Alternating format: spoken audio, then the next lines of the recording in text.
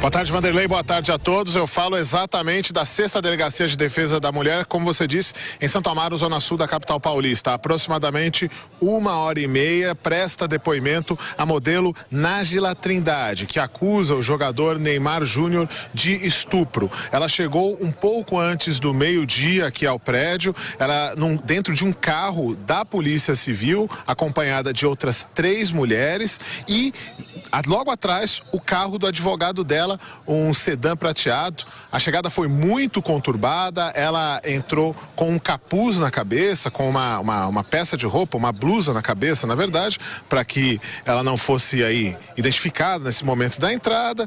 E o advogado entrou logo depois num momento bastante conturbado. Quem nos acompanha por imagens pode perceber que a gente tem movimentação da imprensa de, do Brasil e de agências internacionais também. Então, um grande número de jornalistas, um grande número de cinegrafistas foi para cima desse veículo, mas ela entrou sem dar nenhuma declaração, sem falar nenhuma palavra, e o advogado entrou logo depois, até empurrando quem estava por aqui, porque não tinha muito como ele abrir caminho de outro jeito, entrou no meio de policiais do grupo de operações especiais da Polícia Civil, que estavam até com escudos para garantir essa entrada, enfim, né?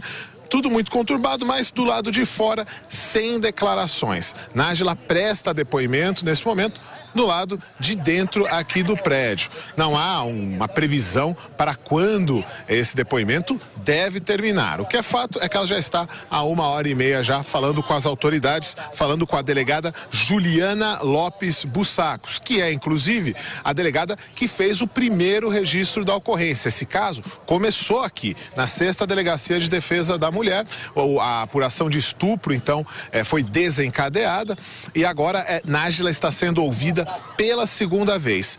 Não se sabe ainda se é, a polícia terá acesso efetivo a íntegra do vídeo que um pedaço já está circulando nas redes sociais, em emissoras de TV, que mostram o segundo momento em que Neymar estaria com Nájila, até é, onde ela até bate em Neymar, ele cai na cama, eles se empurram. É o pedaço do vídeo que foi divulgado até agora. E até ontem, Vanderlei, nem o próprio advogado dela, o Danilo Garcia de Andrade, que é o terceiro advogado que vem representá-la, nem ele disse que tinha acesso à íntegra desse vídeo. Ele veio ontem aqui à delegacia para tomar pé do caso, já que ele foi estabelecido é, ontem, efetivamente, né, como o advogado de Nájila Trindade, conversou com a delegada e marcou aí esse depoimento que efetivamente está acontecendo, ainda que tenha começado com uma hora de atraso. Vale dizer que Nájila está respondendo perguntas sobre a apuração de estupro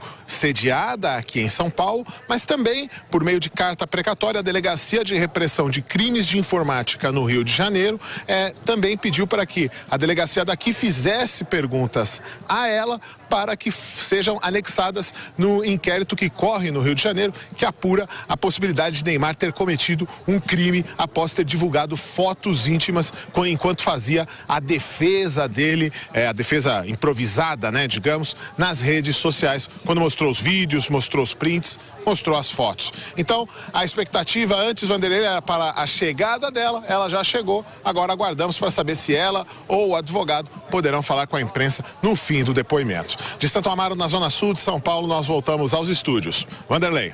Tiago, eh, você sabe que ah, naquele primeiro depoimento que aconteceu aí na delegacia onde você está, eh, eh, a duração foi de 4 horas e 23 minutos. Números redondos. Começou às 7 e acabou às 11 da noite na sexta-feira. Depois explodiu todo aquele negócio lá que você tem acompanhado com todos os companheiros aqui da Jovem Pan. Então, é, agora é, é, uma hora e pouco que ela está prestando depoimento. Você acha que vai demorar muito? Você acha que. E a sensibilidade que vocês têm aí, você está com outros jornalistas, teremos novidades? É, novidades contundentes, efervescentes? Eu imagino que a doutora Juliana, né, que é a delegada, deve ter dito, doutor, o senhor veio aqui e falou que não assistiu o vídeo. Tem que trazer o vídeo para assistir tudo, vai trazer em capítulos. Né? Então, o que, que você acha, Tiago? O que, que vai acontecer? Vai acontecer alguma bomba até o final da tarde? Alguma, algum fato novo, aquele que pode. Parem as máquinas? Ou não, Tiago Muniz? Vanderlei, até o fim da tarde, eu diria que seria melhor esperar mais um pouco, porque a gente lembra que oficialmente esse caso corre em sigilo, em segredo de justiça. Tudo que sai dos autos, inclusive o boletim de ocorrência, ele foi um documento vazado, obtido por meios que não os oficiais. Então, a gente lembra, inclusive, que no boletim de ocorrência, ah, o nome da vítima estava protegido. Há um provimento na lei que é uma vítima de estupro, de violência sexual, que ela pode se preservar. E assim que foi colocado no boletim de ocorrência.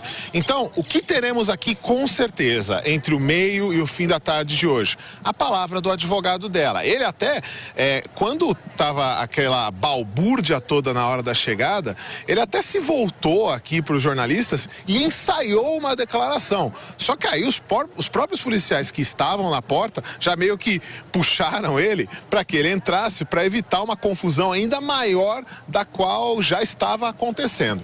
Então, os termos desse depoimento, por padrão, não devem ser divulgados pela polícia. Não parte da polícia essa divulgação. O advogado vai dar declarações, há a possibilidade até que esse depoimento seja registrado em vídeo, mas não é um, um material que é para liberação. Então, em termos de novidades, de bomba, como você coloca, acho que teremos que esperar mais um pouquinho. Mas o que, que vale é, é, dizer? Que ela está sendo questionada depois que todo esse caso explodiu. As primeiras declarações de Nájila Trindade foram feitas a partir do que ela tinha a dizer, sem a, o confronto com o que Neymar, os defensores dele colocavam. E, querendo ou não também, né, Vanderlei, em, em torno de todo o furor que se instalou na sociedade, de toda a discussão que esse caso se transformou. Então, tudo isso, todas essas teorias, conjecturas, por que trocou de advogado, por que, que é, teve a questão da agressão antes e agora o registro de estupro, a questão da elaboração do laudo, todas perguntas que devem ser é, colocadas para a Nájila, provavelmente pela autoridade. Vale dizer que Neymar deve ser convocado em um momento, possivelmente da semana que vem, ou não, mas como um dos últimos passos do caso. Uma vez que ele, a, a polícia então reúne tudo que houver contra ele, eventualmente, todas as acusações, todas as coisas que são passíveis de esclarecimento, e aí se confronta o indiciado nesse caso, que é o Neymar Júnior. Então, Vanderlei, como se diz bastante no rádio, né? Vamos aguardar. Pode ser que tenhamos alguma coisa já ao longo do fim da tarde, pelo menos a declaração do advogado, mas ao longo do tempo nós vamos desdobrar esse caso sem dúvida. Perfeito, Tiago. Um abração para você. O Tiago Muniz está lá na delegacia, na, no bairro de Santo Amaro, em São Paulo, acompanhando tudo aquilo que está acontecendo por lá. E ele citou advogados e eu quero dizer o seguinte: está sobrando nesse caso Neymar aí também para alguns advogados. Imagino que a Tenta OAB vai fazer algum tipo de pronunciamento, vai falar alguma coisa também nas próximas horas.